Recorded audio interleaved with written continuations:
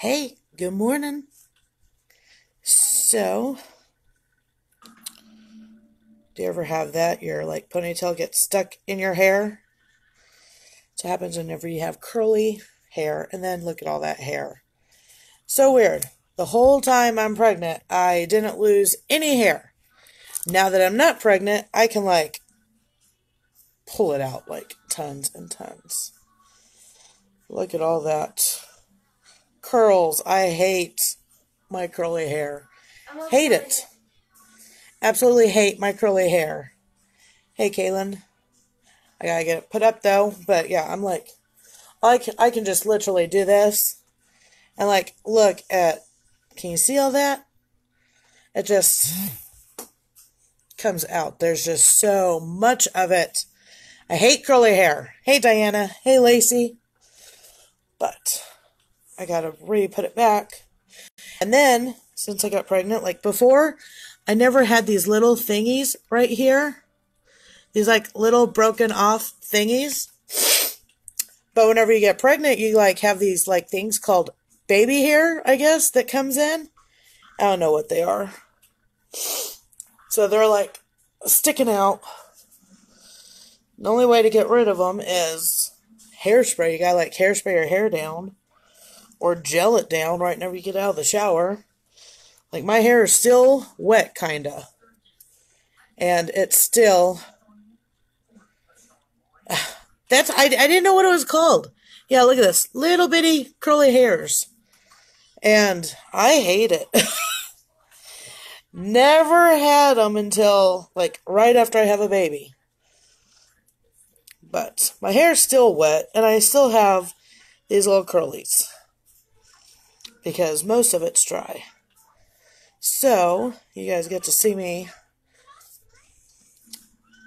do that little thing. Because that's like the quick hairdo to do.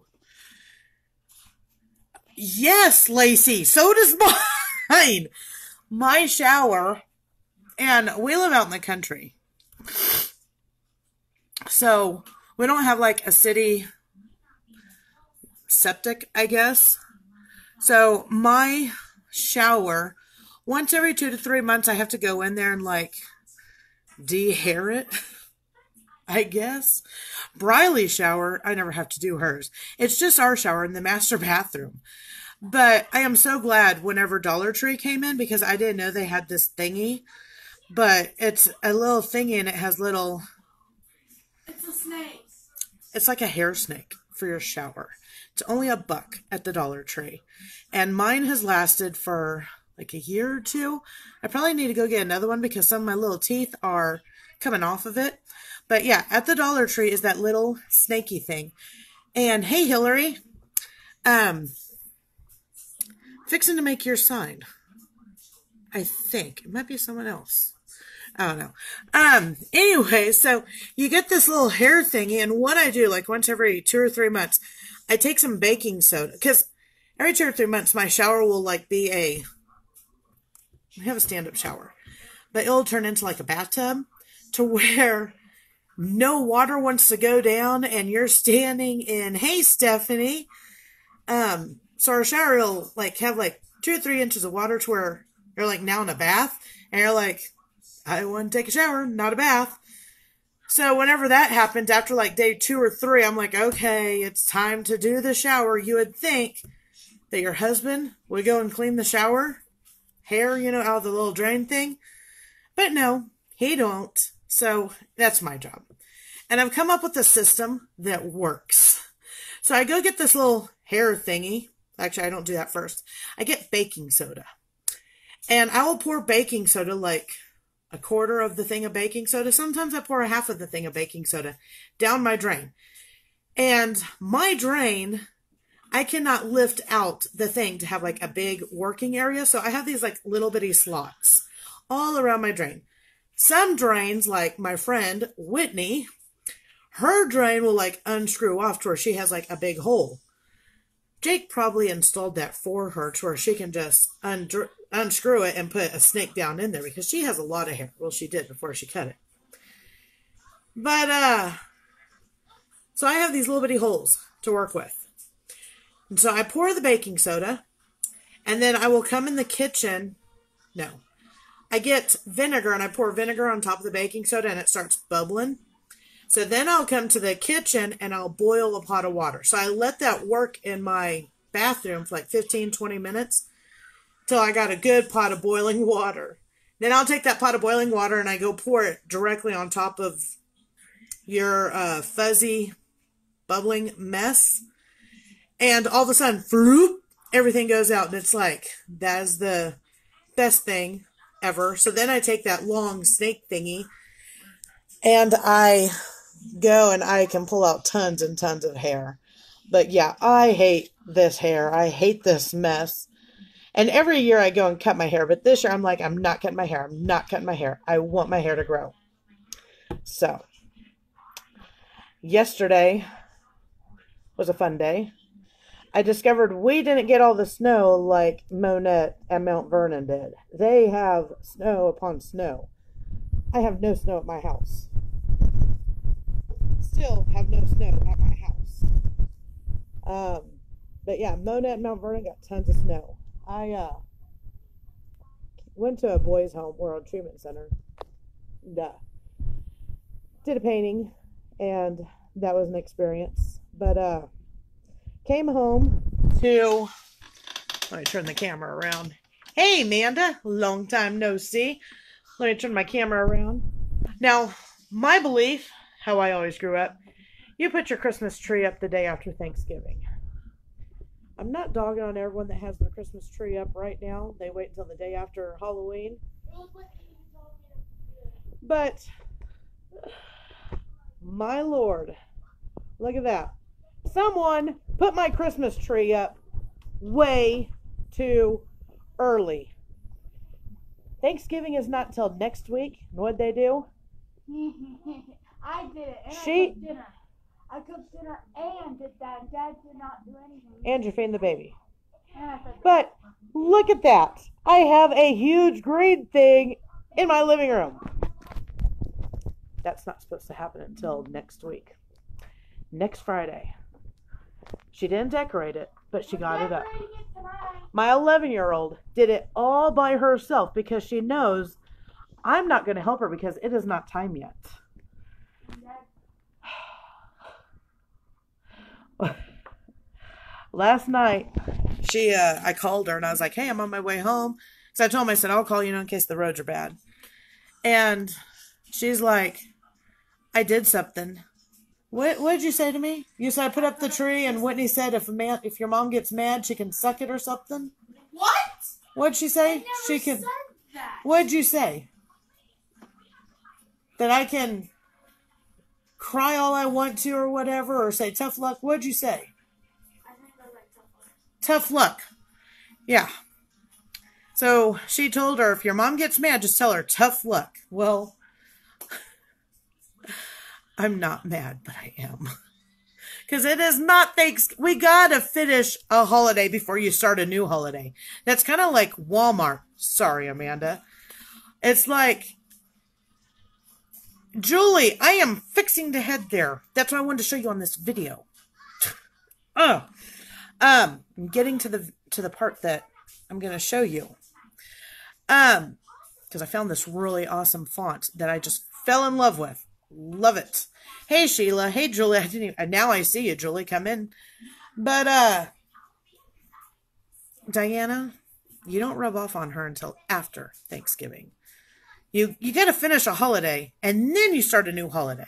What I was saying about Walmart, that's just like Walmart. It's Halloween and they already have Christmas stuff. And what I hate about it, me, I'm a last minute shopper for stockings. I'm a last minute shopper for like Valentine's and everything. Hey, Brendies. So, whenever you don't let a holiday end, oh, it's on our Walmart is the worst. Like, I will go in there literally Christmas Eve, but I learned at our Walmart you cannot do that at all. You have to go to Monett Walmart or Rogers Walmart if you want to do what I usually do. But our Walmart is the worst. I will go on Christmas Eve at night to get all the stocking stuffers. And Santa Claus does that. Santa Claus does that. So I will go and get all the stocking stuffers.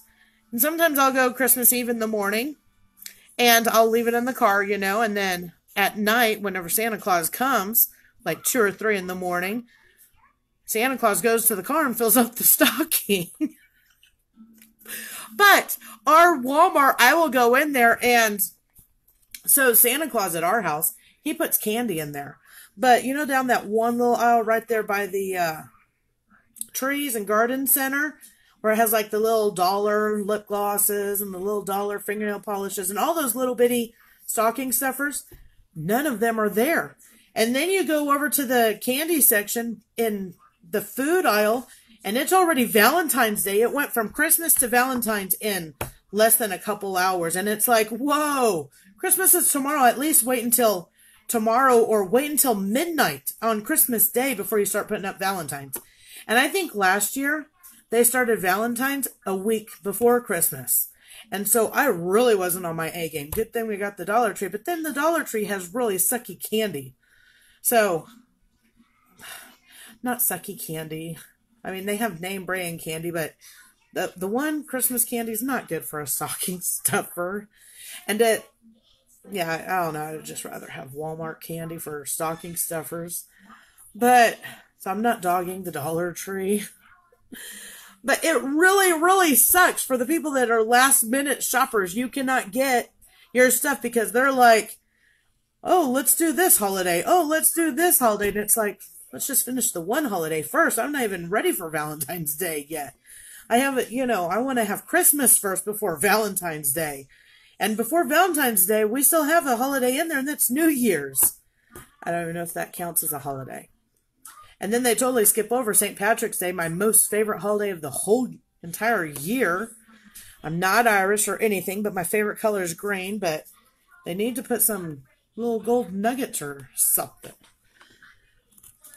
That's my rant for the morning. But anyways, what I supposed to come on here for, I found a font that I love. So let me turn the camera around. So I'm making this sign, and it says, Love you to the moon and back. And this is the font I was going to use. Oh, let me show you the picture of the sign. Oh, where's it at? Come on, computer, work. So this is what they want. Love you to the moon and back. See that? They're going to put their baby's footprints for the V and then their daughter's handprints for the moon. So see how that's like really scripty right there and see the two and everything. So let me go back to my Photoshop. I was like, oh, I can do this. That's really, really pretty. So then I'm over here. Let me go and do what I did. So I wrote love. Let me write the to the moon back. Love you to the. Okay. So see how that does not look like that. See the see the T? That's what I look at. I look at like the curlies.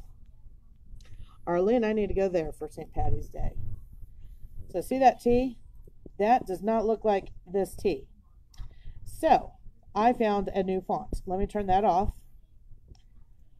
Look at that font. Isn't that pretty? And the name of the font is Yesy. Look at that.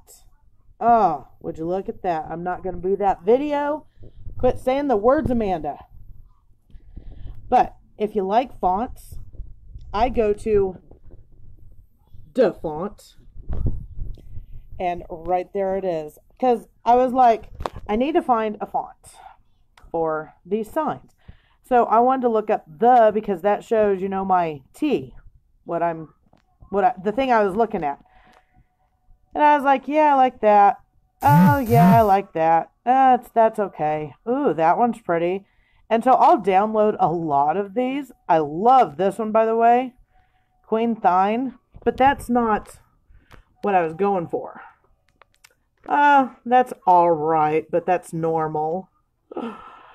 And then I'm scrolling. and I'm scrolling. And then I seen Yessie and I was like, fell in love. If I can give myself my own little hearts here, I totally would give myself some hearts because I love this font. And I think, so let me go change love to Yessie real quick. Um, look at that. It even does the little heart. See the little heart for the love. So, this lady's sign, where's it at? See her love? It don't have the little heart and everything, but my sign is going to have the little heart. It's going to have the long thing. Oh, I love this font. I think I found a new font for like all my signs. I found a new font for everything. I'm going to start using Yessie from DaFont. That again, that's where I get all my fonts at DaFont because they're free. and oh my gosh, I fell in love with this font. It is just so pretty. And I love the creators that make these fonts. And I've never contributed to a creator or donated to a creator. And I just might give this creator a couple bucks because he did awesome. He, she, where, let me find it again, find out if it's a he or a she. Uh, where is it? I lost my font. Where did you go? Did I scroll too much? Yessie. Um, donate to author.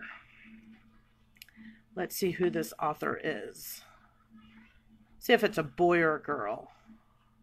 It's got to be a girl because that's too curly to be a boy's handwriting. Could be wrong. I don't know. It says seven in types. So I don't know if it's a boy or a girl. But they did an awesome job on this font. I wish I knew how to make fonts that pretty. That's really pretty. Hey Trish, hey Kim. But I'm gonna get off here. That's what I wanted to come show you guys was this font and talk about that tree and then of course my little curly postpartum hairs that you all got to see in the beginning of the video. I uh I got a plan. If it works, I'm gonna you're gonna start seeing a lot of me. I'm thinking about vlogging, but I'm not very funny. But I was like, I don't care if I'm funny. I just want to talk every day. So that that's coming up soon, maybe if I get enough guts to. But anyways, you guys have a great day. I am fixing to head to the shop. I just got to get this sign prep done so I can go to the shop and make the sign. But uh have a wonderful day and I will talk to you guys later. Bye guys.